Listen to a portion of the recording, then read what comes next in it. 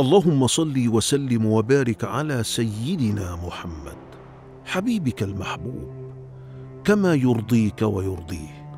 وحببه فينا وزدنا محبة فيه وعلى جميع أنبياء الله ورسله أجمعين. عصى إبليس الأمر الإلهي بالسجود لآدم وظل يلتمس الأعذار إلى الله سبحانه وتعالى. حتى يعفيه من السجود لآدم. وما فتئ يتذرع بطاعته وعبادته لله. تلك العبادة التي لم يعبد الله بمثلها ملك مقرب. طرد الله إبليس المتكبر من حضرته. طرده من رحمته فحقد إبليس على آدم. حسده اولا ثم حقد عليه. وأصبح شغله الشاغل كيف يقضي على آدم وكيف يضله. لي سؤال يا سيدي. تفضل يا حسان. كيف أصبح اسم هذا اللعين إبليس بعد أن كان اسمه عزازيل؟ سؤال مهم. معنى إبليس هو المطرود من رحمة الله أو اليائس من رحمة الله. فالحق سبحانه حكم عليه بهذا الحكم.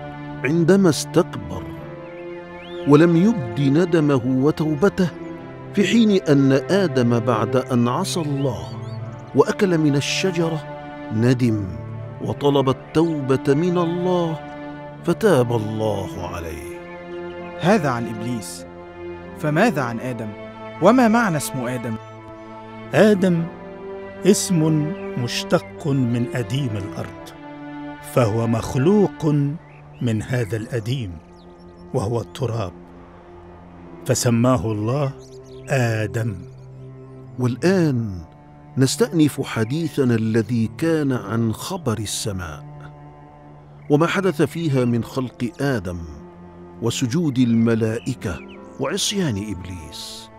فماذا عن خبر الأرض؟ دعونا نرى ماذا كان يحدث فيها.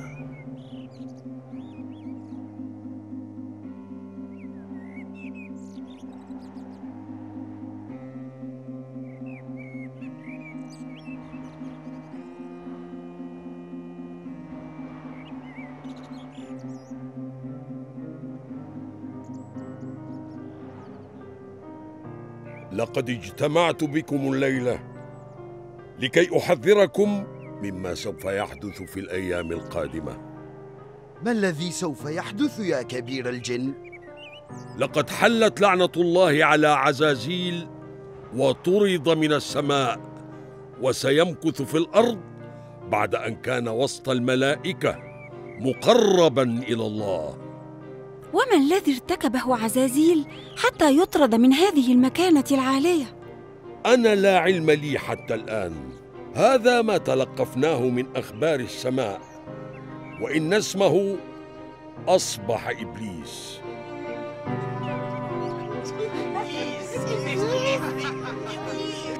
مؤكد أنه ارتكب جريمة كبرى. استحق عليها هذا العقاب إبليس هذا. أحذركم من أشرار الجن الذين قد يتبعونه فيفسدوا في الأرض ويسفكوا الدماء كما حدث من قبل فكان العقاب من رب العالمين. وما عسانا نفعل يا كبيرنا؟ سيحاول إبليس أن يغويكم ويتسلط عليكم فاحترسوا. فنحن لا نعلم حتى الآن كيف أجرم في حق الله وكفانا حربا بين بعضنا البعض. فقد يكون عقاب الله في هذه المرة أكبر وأشد. إني في شوق كي أعرف ما حدث لهذا الإبليس.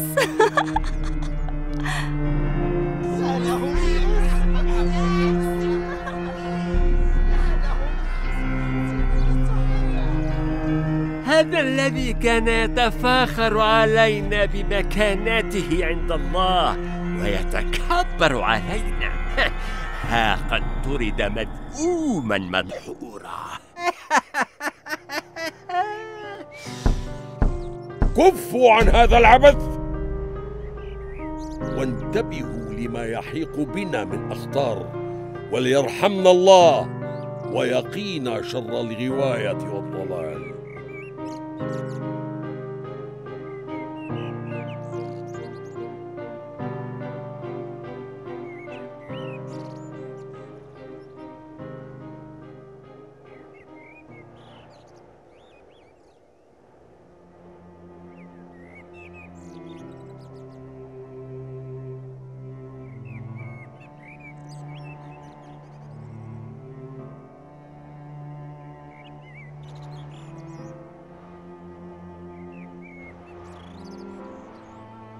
أراد الله تعالى أن يعلم الملائكة حكمة خلق آدم عليه السلام.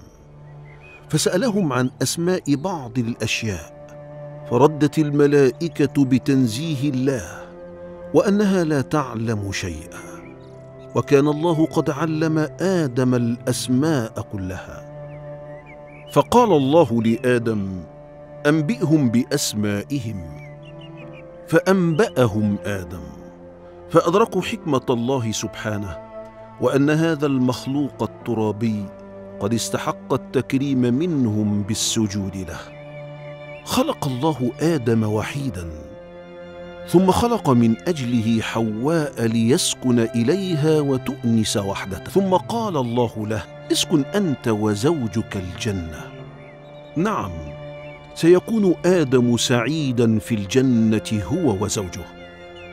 فليس في الجنة تعب ولا جوع ولكن الله قد حذره أن يقرب من هذه الشجرة أو أن يسمع كلام إبليس فيخدعه لأن إبليس يحسده وهو عدو له ولزوجه.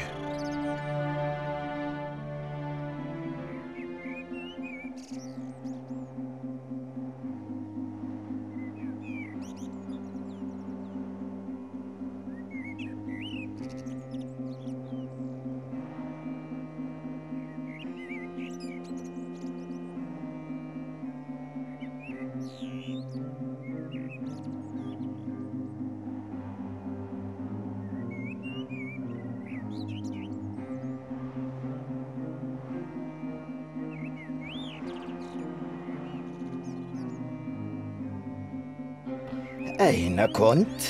هل علمت بما حدث من أخبار السماء؟ نعم علمت. لقد حذرنا سوميا من عزازيل بعد أن طرد من السماء وهبط على الأرض. لم يعد اسمه عزازيل بل إبليس. اسمه إبليس. أيا كان اسمه. لن نحكم عليه حتى نتبين أمره. فقد يجمع شملنا مرة أخرى. بعد أن تفرقنا في الأرض.